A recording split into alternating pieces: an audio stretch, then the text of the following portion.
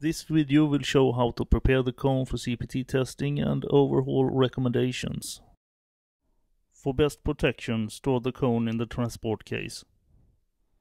To be sure that the probe is straight and not bent, roll it on the table. If it's bent, our recommendation is to send it back to ENVI for maintenance. Contact areas, threads and sockets shall be clean. The point chamber shall be cleaned after test. All grease and dirt must be removed. Use compressed air and pipe cleaners. It's important to clean the slot. Look for damage areas, they must be adjusted. Use a fine file. The distance between the point and the slot shall be 0.3 mm wide. Mount the slot on the point. Fill the chamber with grease.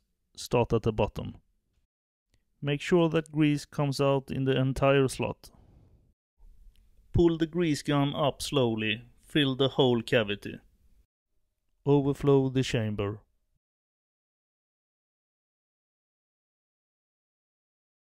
Wipe off the excess grease.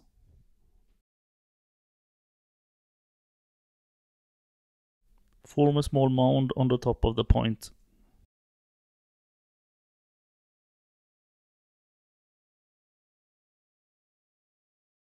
Release the friction sleeve 20 mm. Remove all dirt. Make sure all O-rings are intact. Remove the friction sleeve completely.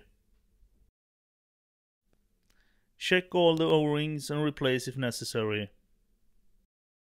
You also have to check the friction wedges, that they are in place and can be moved from side to side. Lubricate if necessary. Be careful with the wedges. If you lose one, you have to order two new ones. The wedges are measured against each other to get as little uneven load as possible in the measurement. Replace the friction sleeve in its position. It should be easy to turn. If it's low or stuck, then it may be damaged and should be replaced with a new one.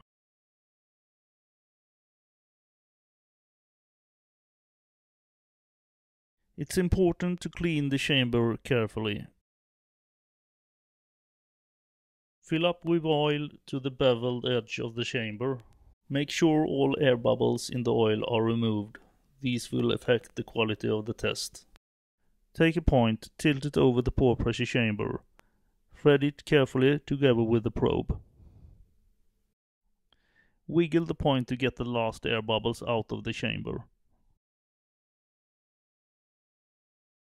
Finally, tighten the point gently using a tongue and groove plier or similar tool. Put one O-ring on the upper side of the friction sleeve and two O-rings just behind the tip. The probe is now ready for testing and can be stored for several hours without being influenced by the surrounding environments. We recommend that you use ENVI's grease and oil to gain the highest measurement quality as possible.